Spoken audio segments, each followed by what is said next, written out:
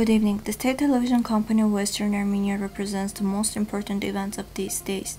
Today's broadcast. Residents of Sebastia demand restoration of ancient cave dwellings. Renovation works at St. Kirakos Armenian Church in Tigranakert.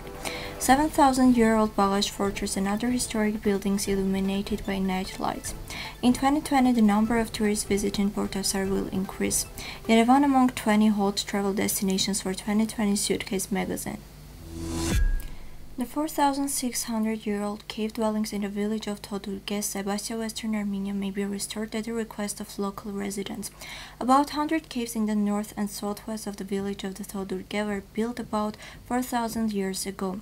The caves have small rooms which were probably used during the Roman period.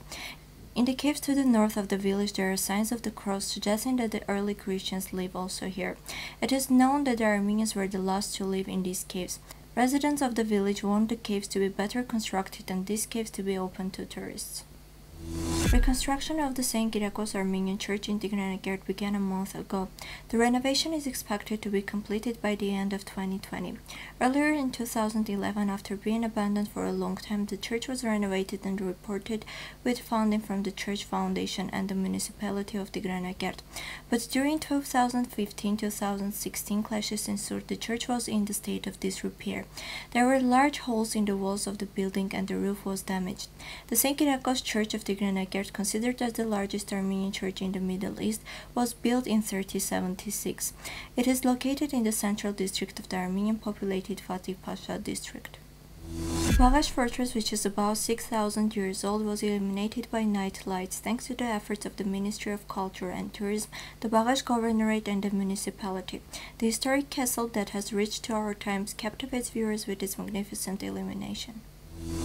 The National Geographic, the world's most renowned organization in geography and discovery, has included Portasar in its book entitled Places to Visit Before Dying. National Geographic, which has millions of readers and followers, has also included Portasar historic site of Western Armenia as the best place to visit in 2020. They described it as a mysterious place and as the area dating back to prehistoric times, which is 12,000 years old and is the oldest known temple in the world. It is older than Stonehenge and the pyramids of Egypt.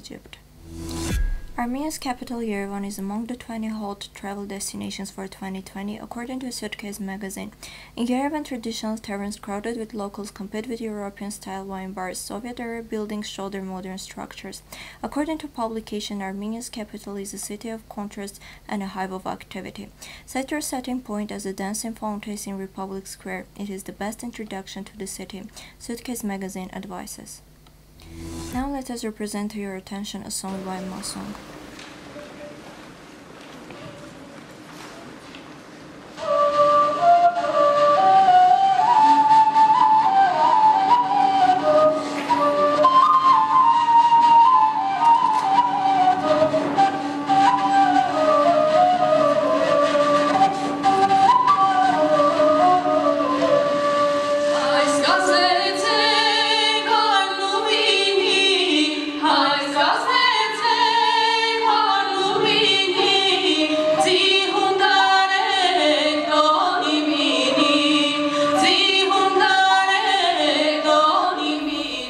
Masong. the whole version of the song in the official page of Western Armenia TV. This was all for today. Goodbye.